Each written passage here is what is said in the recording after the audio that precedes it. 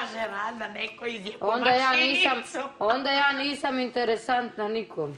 Pošto se ja ne nerviram. Juče smo te s tetka Rado komentirali kad je bilo tišina ovdje da, da fališ. Znaš? Sedimo ja i tetka Rado, onako tišina, bilo je neku emisiju, neko spava, bukvalno ona... Da fali mi. Ne, ne. Da fali, da lana. Kaže, gdje je sad, gdje je sad Mirjana?